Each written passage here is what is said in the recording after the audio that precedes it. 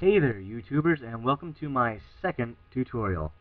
In this tutorial I'm going to be showing you how to do Force Lightning. Okay, now I've already opened up GIMP and I've done my lightsaber and if you haven't seen my other uh, tutorial on how to do lightsabers just go ahead and turn this off and go watch the other one. Go on, do it. Now, do it. No, Okay, so let's get started. First thing we're going to do is we're going to make another layer. So make sure that this is clicked on black. Come up here to layer. Go down here to new. Make sure your foreground color is checked and press OK. Now you're going to come up here, drop down arrow and go to screen. Yeah, right. Now you're going to want to come up here, and press on this, make it white again. Okay. Now what you're going to do is you're going to come up here to your brush tools. Okay. Now I have these. You may or may not. But um, I got all of my brushes from DeviantArt.com, and there's other tutorials on how to get those. I'm not going to go into it. Um, but what you're going to do is you're going to come in here and just click which one you want to do. So I've chosen this one. And then what you're going to do is you want to make it small at first and then work up. I've already scaled it up prior to this uh, part of this tutorial.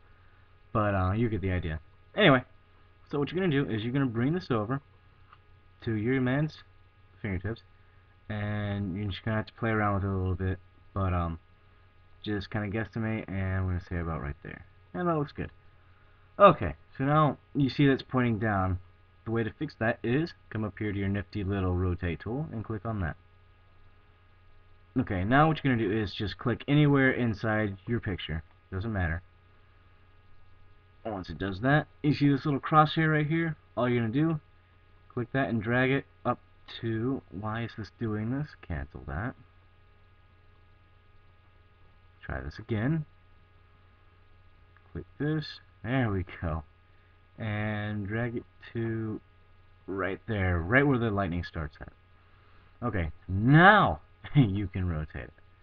So you're gonna come up here to your little slide tool and just slide it over. And kind of guess at where the lightsaber is and that looks about good and then press rotate. And there you go.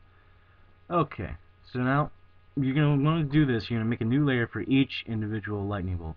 So I'm going to show you one more time. Click this to black, layer, new layer. Okay. That'll show up black. You come up here to your drop down arrow, press screen, make this to white again, and just do it over. Now, you don't want to do, you know, the same lightning bolt over and over again. Obviously, you want to switch it up. So I'm going to go in here and I'm going to go to, say, this one right here. And, okay, it looks a little bit small, so I'm going to scale it up to about 12. Okay. Let's see. Right about there. Okay remember what I said, come up here, scale, or uh, your rotate, click inside here, you want to click and drag to right about there. Okay, and rotate, bring this up,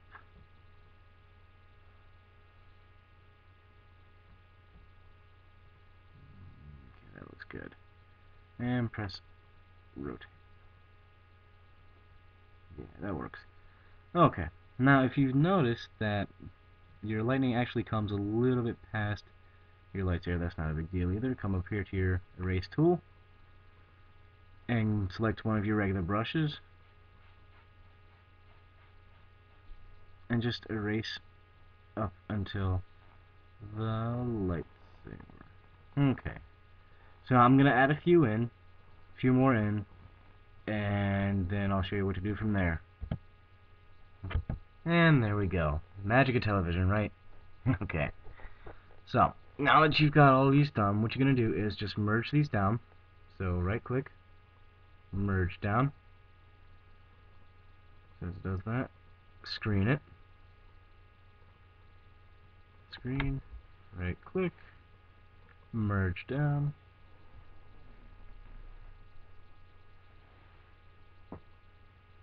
Screen, right click, merge down. Screen. Okay. So now you've got all these merged down into one layer. So we're going to highlight that. And now you're going to go ahead and fill this in with your colors. Now in the prequel movies, the uh, the lightning was actually the same color scheme as uh, the lightsabers themselves. So that's just what we're going to do. So we're going to come in here to colors, color balance. And it was blue in the movie, so we're going to make it blue. Let's come up here to shadows. Make this 35. Midtones. Make this negative 5. And bring this all the way to 100.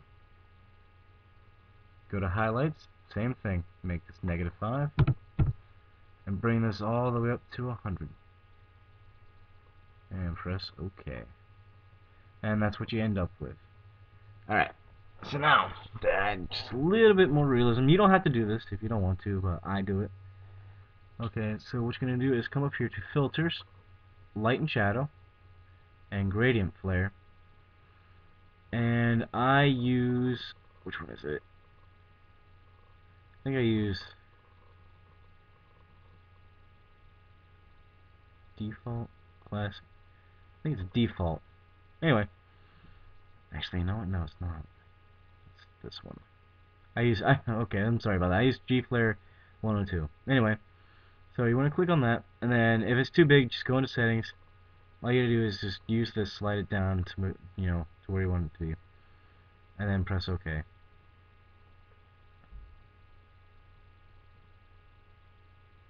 And then you'll see it shows up on your lightsaber right there. Do it again. Filters, ratio gradient flare. Come in here and just click on one of the points of contact. So that would be one. Press OK.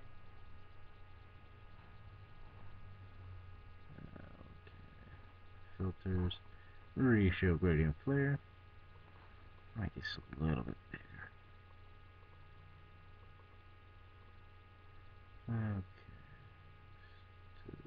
There.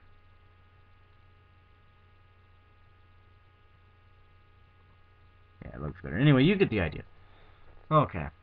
So now, another thing you're going to want to do is you don't want these to be these hard edges. So, come in here to your smudge tool. Smudge tool. Okay. Now you're going to want to zoom in on the fingers. Let's see, there we go. Okay. Smudge tool. Bring this down. Bring this down, like way down. Okay, now you're just going to come in here and lightly brush this. So that way it'll give it a little bit more of a, I don't know, more realistic finish.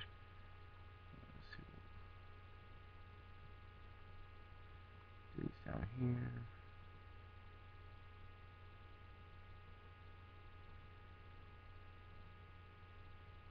And just smudge it out.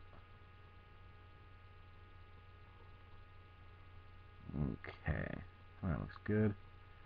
Now we'll zoom back out.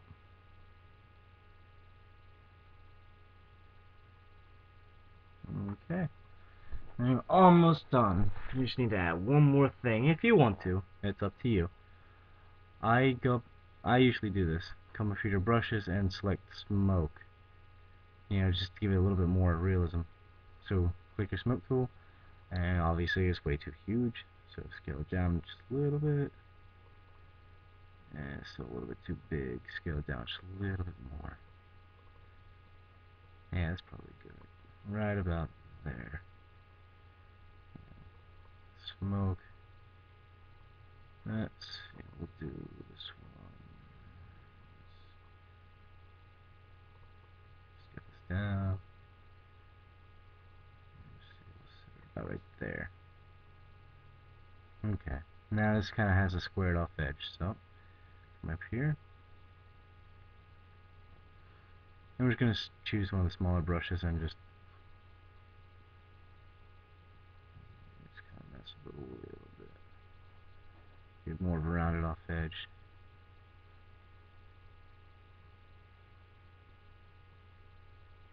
There we go. Alright, and you're done. Just go ahead, right click and merge this down. And you have got some pretty decent looking force lightning. I hope you enjoy this tutorial, and thanks for watching.